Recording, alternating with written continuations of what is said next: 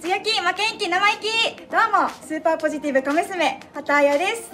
私が今回参加した理由は他の人と戦いたい他の人より有名になりたいって思ったからです。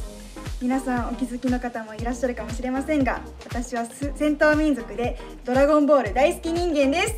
みんなオラに元気を分けてくれと私は目を合わせたら誰でも漏れなく全員虜にする自信があるのでぜひ皆さん会いに来てください。待ってます。